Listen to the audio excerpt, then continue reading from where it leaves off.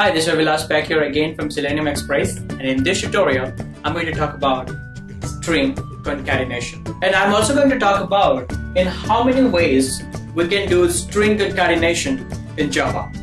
But before I switch to my topic, let's talk about some uh, very fundamental stuffs, okay? Okay, so now let's talk about this. Let's say I have two different string like this, string s1 equal to selenium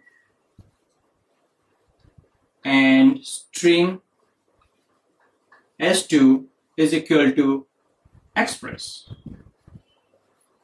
Okay, so selenium express is my channel name. But what happened is I have two different things instead of one. One string is selenium, one string is express. So what I want to do, I want to add this express after this selenium. Alright? So I want to form a complete string by adding both this string.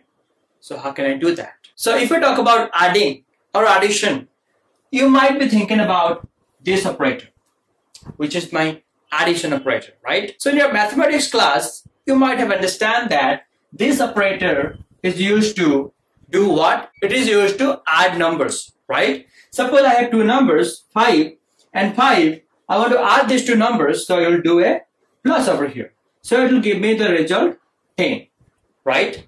So like that, if I want to add two strings, what I can do? Suppose I want to add selenium and express. What I can do? I can do the exact same thing. It is very, very simple. I can do selenium plus express. So do you know what, what it is going to give it to you? It is going to give it to you Selenium Express.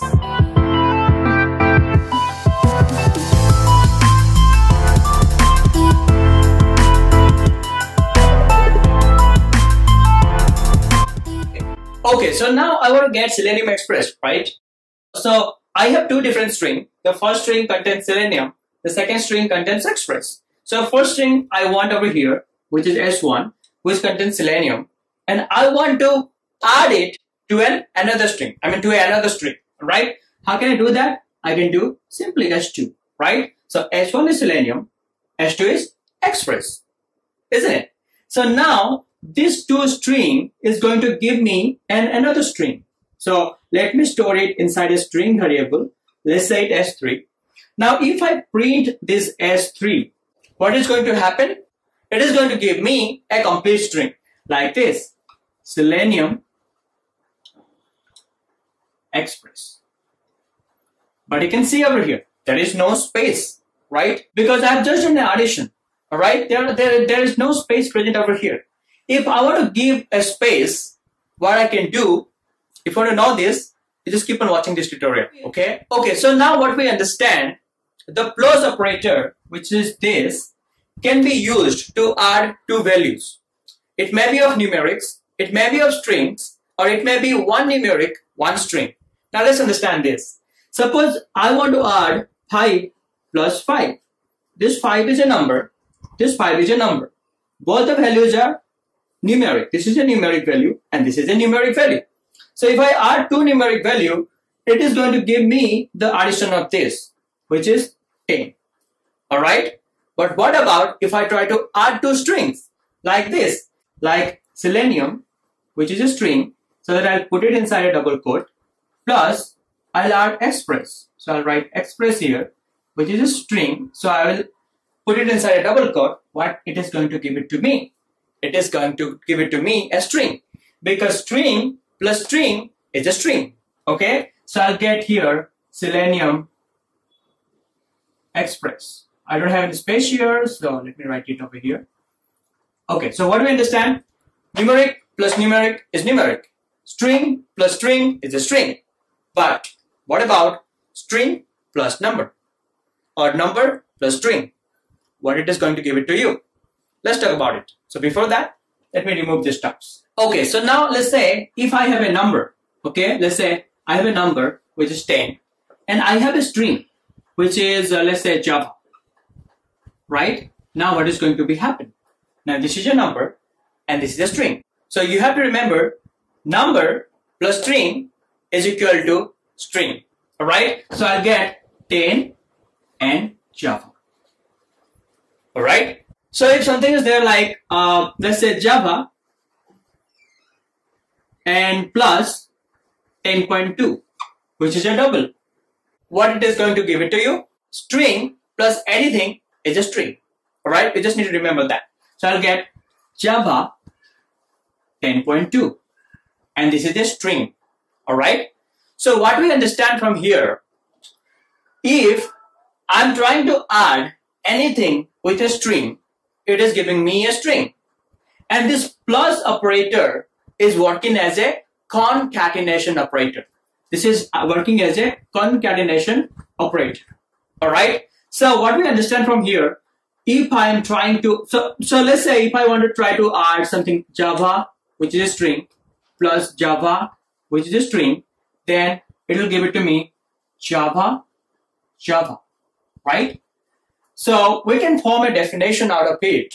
If any of the operand we're trying to add is a string, or both of the operand that we're trying to add is a string, then this plus operator is going to work as a concatenation operator. All right. So this is all about how you can do concatenation by using this operator, which is your addition operator or plus operator. In, in case of string, we call it concatenation operator because it is concatenating two different string and giving us a result, which may be a number, which may be a string. And I told you in which case it's a number, in which case it's a string.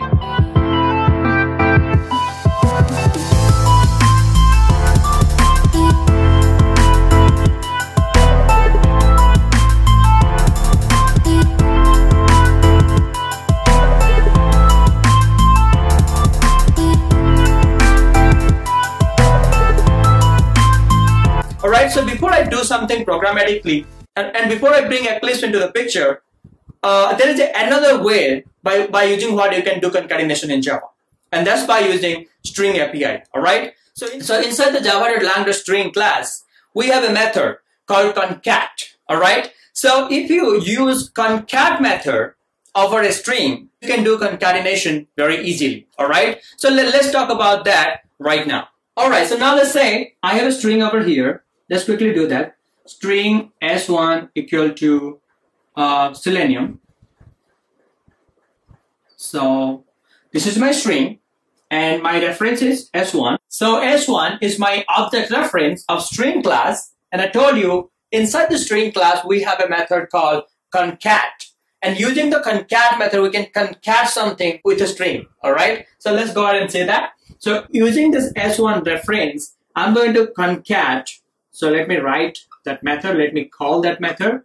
And inside the concat, I'm going to concat express with my first string. Okay. So with S1, I'm going to concat express. So this concat method is going to return me a string. All right. Suppose string plus string. Obviously, it is going to return me a string, right? So like that, concat method is working as a concatenation operator it's a method, I know, but it's working like that. So it is going to return to me a string.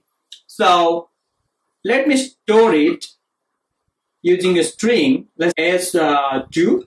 So now if I print this, this h2, what it is going to return to me, can you guess? Now I have concatenate express with my S1 string. So selenium is my first string, which is S1, and then I have concatenate express, right? So it becomes Selenium Express. So if I print S2, because I stored uh, this result over here with a, another string reference, which is S2. So if I print S2, it is going to return to me Selenium Express. All right. Uh, okay, so now let's talk about it programmatically. Okay, so whatever we discussed, let's do it programmatically. So in this tutorial, we have covered in how many ways we can do concatenation in Java. First way is by using the plus operator. The second one is by using the concat method of string class. All right. So by using both this way, we can do concatenation in string. And uh, one more thing we have covered that what is concatenation? We just cover a kind of definition. Okay. So let's bring Eclipse into the picture. So let's cover it. All right. So now let's do it programmatically. So as you can see over here, I do have a simple class called string demo and I don't have any code right over here and I'm going to do all my coding from scratch. Alright, so now let me write my main method over here. So I'm using Eclipse, so I can write main, I can do a control space and it will write the main method for me. Alright, so now I'll show you how to perform string concatenation in Java. So as I said, there are two different ways to do it. The first way is by using the plus operator. So this is what I'm going to do over here first, okay? So uh, let me declare two string over here very quickly. So let me write string s1 of selenium and I have another string called s2 and let's say it express all right so I got two different string s1 and s2 which has two different values selenium and express so let's say I want to form my channel name which is selenium express. So to get that I need to add this to string okay? So let's go ahead and quickly do that. So let's first do it by using uh, plus operator okay? So how can we do that? We need to add this s1 with s2 right? So s1 is a string which contains selenium and s2 is a string which is contain express. So i'm concatenating this both string so that uh, I can get a complete string. Uh, so let me uh, give a equals over here and let me write string and let me give it a variable. I mean give it a reference called s3. So now inside this S3, I'm storing the addition result of S1 and S2, which is Selenium Express, okay? And this, so as I said, this is a string and this is a string and it is going to return to you a string so that I'm storing it inside a string variable, all right? Uh, so the next thing I'm going to do is I'm going to print this out. So let me write S3 over here. And the next thing I'm going to do, I'm going to run this application. So you can see over here, I'm getting the exact result that I'm expecting, which is Selenium Express, okay? But one thing to notice over here is, you know, this is coming as, uh, you know, a complete string, but without having any space, right? So, so before this express, I need a space because my channel name has a space before this express. So I want to get that. So how can I give a space over here? So there are a few different ways by using what we can do that. The first way is I just can simply give a space over here before the string and if I can save it again and if I run it again you can see now this express has a space before it and there is another way that you can do it uh, so let's say if I don't need to give a space over here and I want to get a result with a space in between the selenium and express. So how to do that? So just see I'm adding this s1 string with this s2 string okay? So now I want to add a, another string. So let me write a, a plus over here. And inside this 2 plus I'll, I'll just add another string which is space okay so now I'm adding three different string. First one is s1 the second one is a space then the third one is s2 so now you can see I'm adding another string which is a space in between these two string right? So these are three different string. I'm adding all them together. First one is s1 which is selenium. Second one is space and the third one is s2 which is express okay? So now let's say if i save this and if i run it again let's go for it okay selenium express comes with a space okay very simple so this is how you can do string concatenation by using plus operator and the second way is by using concat method of string class. Alright, so how to use that? So okay, so I want to concat this express with this selenium. Okay, okay, so I want to concat with what? I want to concat with s1. Okay, so s1 is what? s1 is my string class reference which contains selenium. So with this selenium, I want to concat. So let me call that method concat. And if you if you see this, this concat method is accepting a string argument that I need to concat with. So what I can do, I can define a string over here. So if I want to concat something express, so I can write express over here because it's accept a string as its argument. But without declaring a string over here inside this, I can take s2 because this s2 I have defined it over here which contains a value expressed already. So let me define it directly over here, uh, which is s2. And now this concat method is going to return to you as a string. So you need to handle the return type. So how to do that? So you just need to write string over here because it is going to return to you a string.